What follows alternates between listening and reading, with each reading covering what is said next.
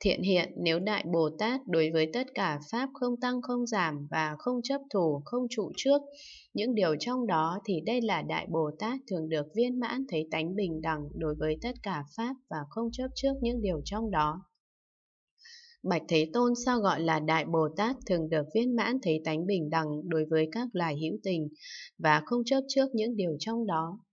Thiện hiện nếu Đại Bồ Tát đối với các hữu tình không tăng không giảm và không chấp thủ, không trụ trước những điều trong đó thì đây là Đại Bồ Tát thường được viên mãn thấy tánh bình đẳng đối với các loài hữu tình và không chấp trước những điều trong đó. Bạch Thế Tôn sao gọi là Đại Bồ Tát thường được viên mãn thông suốt rút giáo đối với Pháp chân thật nghĩa lý và không chấp trước những điều trong đó. Thiện hiện nếu Đại Bồ Tát đối với tất cả Pháp chân thật nghĩa lý, tuy thật thông đạt mà không có chỗ thông đạt, không chấp thủ, không trụ trước những điều trong đó, thì đây là Đại Bồ Tát thường được viên mãn thông suốt rốt ráo đối với Pháp chân thật nghĩa lý và không chấp trước những điều trong đó. Bạch Thế Tôn sao gọi là Đại Bồ Tát thường được viên mãn trí nhẫn vô sanh. Thiện hiện nếu Đại Bồ Tát nhẫn nhục đối với tất cả Pháp không sanh, không diệt, không tạo, không tác và biết rõ danh sắc hoàn toàn không sanh, thì đây là Đại Bồ Tát thường được viên mãn trí nhẫn vô sanh. Bạch Thế Tôn sao gọi là Đại Bồ Tát thường được viên mãn thuyết tất cả Pháp nhất tướng lý thú. Thiện hiện nếu Đại Bồ Tát đối với tất cả Pháp không hành hai tướng thì đây là Đại Bồ Tát thường được viên mãn thuyết tất cả Pháp nhất tướng lý thú. Bạch Thế Tôn sao gọi là Đại Bồ Tát thường được viên mãn diệt trừ phân biệt. Thiện hiện, nếu Đại Bồ Tát đối với tất cả Pháp không có sự phân biệt, thì đây là Đại Bồ Tát thường được viên mãn diệt trừ phân biệt. Bạch Thế Tôn sao gọi là Đại Bồ Tát thường được viên mãn xa lìa các tường. Thiện hiện, nếu Đại Bồ Tát thường được xa lìa tất cả tường nhỏ tường lớn và vô lượng tường thì đây là Đại Bồ Tát thường được viên mãn xa lìa các tường. Bạch Thế Tôn sao gọi là Đại Bồ Tát thường được viên mãn xa lìa các sự thấy. Thiện hiện nếu Đại Bồ Tát xa lìa các sự thấy của thanh văn, độc giác vân vân thì đây là Đại Bồ Tát thường được viên mãn xa lìa các sự thấy. Bạch Thế Tôn sao gọi là Đại Bồ Tát thường được viên mãn xa lìa phiền não. Thiện hiện, nếu Đại Bồ Tát xả bỏ tất cả sự liên tục của các tập khí phiền não hữu lậu, thì đây là Đại Bồ Tát thường được viên mãn xa lìa phiền não. Bạch Thế Tôn sao gọi là Đại Bồ Tát thường được viên mãn khéo léo thực hành pháp trì quán. Thiện hiện nếu Đại Bồ Tát tu hành trí nhất thiết, trí nhất thiết tướng thì đây là Đại Bồ Tát thường được viên mãn khéo léo thực hành pháp trì quán. Bạch Thế Tôn sao gọi là Đại Bồ Tát thường nên viên mãn điều phục tâm tánh. Thiện hiện nếu Đại Bồ Tát ở trong ba cõi mà không đắm trước, không lạc thú, thì đây là Đại Bồ Tát thường nên viên mãn điều phục tâm tánh. Bạch Thế Tôn sao gọi là Đại Bồ Tát thường nên viên mãn tâm tánh tịch tĩnh. Thiện hiện nếu Đại Bồ Tát nhiếp phục sáu căn thì đây là Đại Bồ Tát thường nên viên mãn tâm tánh tịch tĩnh. Bạch Thế Tôn sao gọi là Đại Bồ Tát thường nên viên mãn tánh vô ngại trí. Thiện hiện nếu Đại Bồ Tát tu hành chứng đắc Phật nhãn, đối với tất cả Pháp quyết định rõ ràng không chướng ngại thì đây là Đại Bồ Tát thường nên viên mãn tánh vô ngại trí. Bạch Thế Tôn sao gọi là Đại Bồ Tát thường nên viên mãn không bị ái nhiễm. Thiện hiện nếu Đại Bồ Tát đối với lục xứ xả bỏ hoàn toàn, thì đây là Đại Bồ Tát thường nên viên mãn không ái nhiễm bất cứ điều gì. Bạch Thế Tôn sao gọi là Đại Bồ Tát thường nên tùy tâm ý muốn đến các cõi chư Phật và hiện thân trong hộ chúng của chư Phật. Thiện hiện nếu Đại Bồ Tát tu hành đạt được thần thông thủ thắng, đến các cõi Phật để phụng sự cúng dường chư Phật Thế Tôn và thỉnh chuyển Pháp Luân, làm lợi ích cho tất cả, thì đây là Đại Bồ Tát thường nên tùy tâm ý muốn đến các cõi chư Phật và hiện thân trong hội chúng của chư Phật. Thiện hiện nên biết khi chư Đại Bồ Tát an trụ ở địa thứ bảy, thì thường nên xa lìa 20 pháp trước và nên viên mãn 20 pháp sau. Bạch Thế Tôn sao gọi là Đại Bồ Tát thường nên viên mãn ngộ nhập tâm hành tất cả hữu tình. Thiện hiện nếu Đại Bồ Tát nhất tâm cùng với trí như thật biết khắp hành tướng sai biệt tâm và tâm sở của tất cả hữu tình, thì đây là Đại Bồ Tát thường nên viên mãn ngộ nhập tâm hành tất cả hữu tình. Bạch Thế Tôn sao gọi là Đại Bồ Tát thường nên viên mãn du hí thần thông.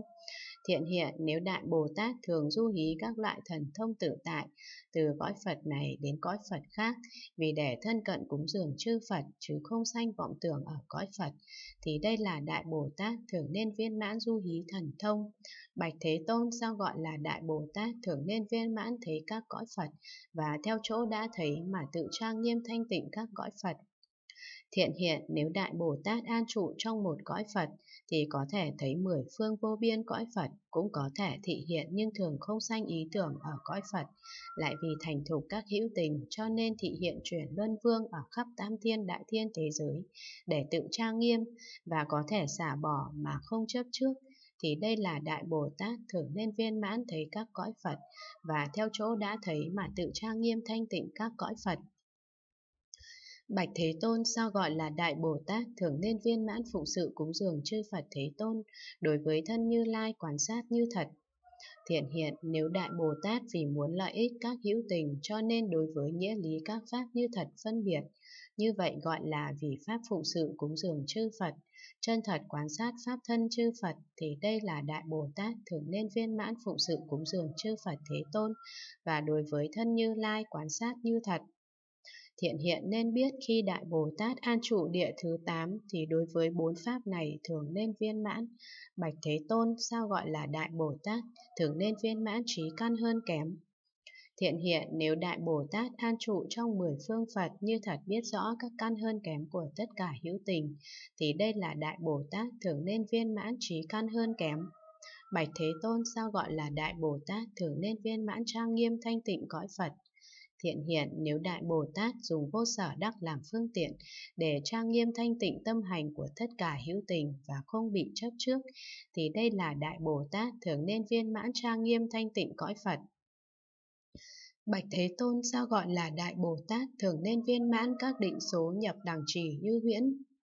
Thiện hiện nếu Đại Bồ Tát an trụ định đẳng trì này tuy có thể thành tựu tất cả sự nghiệp mà tâm không dao động đối với các pháp, lại tu rất thành thục môn đẳng trì nên không cần tạo ra hạnh, mà luôn hiện tiền thì đây là Đại Bồ Tát thường nên viên mãn các định số nhập đẳng trì như huyễn. Bạch Thế Tôn sao gọi là Đại Bồ Tát, thường nên viên mãn tùy theo căn lành thuần thục của các hữu tình, mà tự nguyện thị hiện vào trong các cõi để hóa sanh. Thiện hiện, nếu Đại Bồ Tát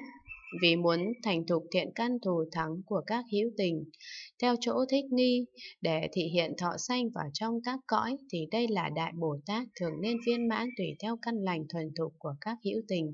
mà tự nguyện thị hiện vào trong các cõi để hóa sanh.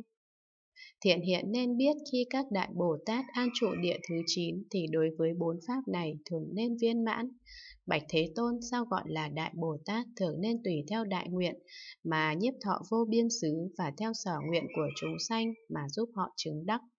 Thiện hiện nếu đại Bồ Tát vì tu sáu pháp ba la mật đa đã viên mãn hoặc vì trang nghiêm thanh tịnh cõi Phật hoặc vì thành thục các loại hữu tình tùy tâm nguyện mà làm viên mãn không thiếu sót thì đây là Đại Bồ Tát thường nên viên mãn tùy theo đại nguyện mà nhiếp thọ vô biên xứ và theo sở nguyện của chúng sanh mà giúp họ chứng đắc. Bạch Thế Tôn sao gọi là Đại Bồ Tát thường nên tùy theo các loại âm thanh trí tuệ khác nhau của các loài trời, rồng, quỷ, thần, người chẳng phải người mà thuyết pháp.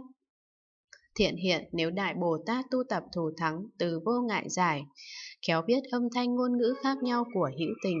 thì đây là Đại Bồ Tát thường nên tùy theo các loại âm thanh trí tuệ khác nhau của các loài trời rồng quỷ thần, người chẳng phải người mà thuyết pháp. Bạch Thế Tôn sao gọi là Đại Bồ Tát thường nên viên mãn thuyết pháp biện tài vô ngại. Thiện hiện nếu Đại Bồ Tát tu tập thủ thắng biện tài vô ngại giải, vì các hữu tình diễn thuyết vô tận thì đây là Đại Bồ Tát thường nên viên mãn thuyết pháp biện tài vô ngại. Bạch Thế Tôn sao gọi là Đại Bồ Tát thường nên viên mãn nhập thai đầy đủ. Thiện hiện nếu Đại Bồ Tát tuy thực sự hóa sanh khắp tất cả chỗ nhưng chỉ vì lợi ích cho hữu tình mà thị hiện nhập thai, trong quá trình nhập thai đều thị hiện đầy đủ các điều thù thắng, thì đây là Đại Bồ Tát thường nên viên mãn nhập thai đầy đủ. Bạch Thế Tôn sao gọi là Đại Bồ Tát thường nên viên mãn xuất thai đầy đủ? Thiện hiện nếu Đại Bồ Tát trong khi xuất thai thị hiện các điều hy hữu thù thắng, làm cho các hữu tình thấy đều hoan hỉ, được lợi ích lớn, thì đây là Đại Bồ Tát thường nên viên mãn xuất thai đầy đủ. Bạch Thế Tôn sao gọi là Đại Bồ Tát thường nên viên mãn sanh trong gia tộc cao quý? Thiện hiện nếu Đại Bồ Tát thường sanh trong đại tộc sát đế lợi hoặc đại tộc bà la môn, chỗ bẩm thọ cha mẹ không thể chê trách, thì đây là Đại Bồ Tát thường nên viên mãn sanh trong gia tộc cao quý. Bạch Thế Tôn sao gọi là Đại Bồ Tát thường nên viên mãn chủng tánh đầy đủ. Thiền hiện nếu Đại Bồ Tát thường sanh trong dòng họ của Đại Bồ Tát thời quá khứ, thì đây là Đại Bồ Tát thường nên viên mãn chủng tánh đầy đủ. Bạch Thế Tôn sao gọi là Đại Bồ Tát thường nên viên mãn quyến thuộc đầy đủ. Thiện hiện nếu Đại Bồ Tát chỉ cùng thuần nhất vô lượng vô số chúng Đại Bồ Tát làm quyến thuộc, ngoài ra không xen tạp các hàng khác, thì đây là Đại Bồ Tát thường nên viên mãn quyến thuộc đầy đủ.